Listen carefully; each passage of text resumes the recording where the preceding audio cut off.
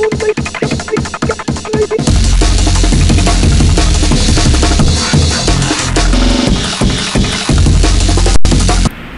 ba ay techie o laging updated pagdating sa technology o mahilig sa mga bagong kagamitan tulad ng cellphone, laptop, iPad at iba pa? Pues ito ang usong-uso ngayon. Online shopping. Yan ang in sa mga kababayan natin. Ang mga segunda mano o second-hand gadgets dito nyo mabibili at maibibenta sa murang halaga. Ngunit, naalarma ang himpilan ng pulisya ng Pasay City dahil sa isang modus na di umano ay may kinalaman sa pagbibenta ng mga gadgets. Ang modus na ito ay nagsimula sa pagbibenta sa pamamagitan ng internet.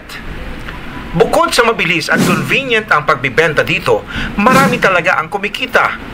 Subalit, sa isang transaksyon, magsisimula ang lahat. Napagdesisyonan na sa isang lugar magkikita ang seller ng laptop at buyer nito. Sa simpleng text at tawagan muna magsisimula ang lahat. Magtatagpo sa napagkasundo ang lugar. Sa sandaling oras na paghihintay ng seller ay dadating naman ang buyer nito na pasasakayin pa sa sasakyan na parang feel at home talaga.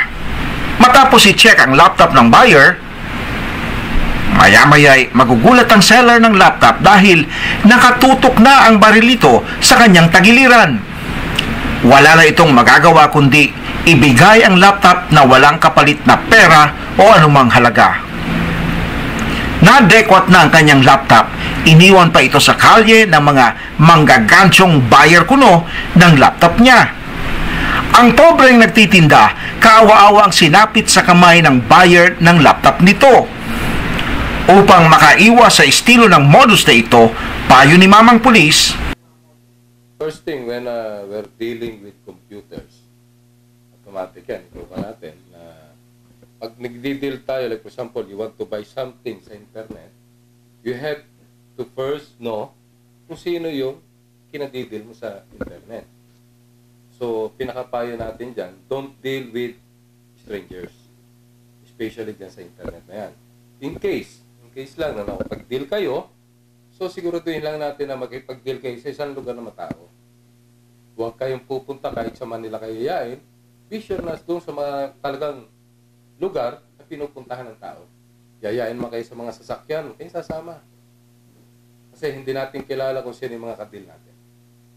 Talagay ko yun ang pinaka-the best tip na mabibigay. Isaalang-alang din ang sumusunod na tips upang huwag mabiktima ng ganitong klase ng modus. Una, kilalanin ang taong katransaksyon. Humingi ng ID o picture ng potential buyer.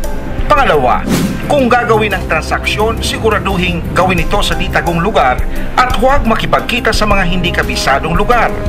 Pangatlo, kung maaari ay maging mapagmatyag sa paligid. Pangapat, huwag aalis ng mag-isa o walang kasama kung makikipagkita sa buyer o seller. Panlima, palaging isave ang numero ng pulisya sa inyong cellphone o telepono upang madaling makakuha ng tulong.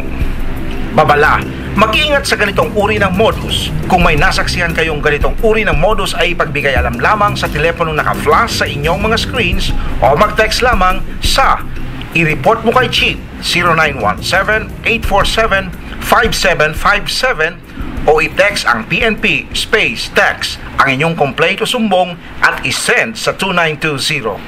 Hanggang sa susunod na edisyon ng Modus Operandi. Ay,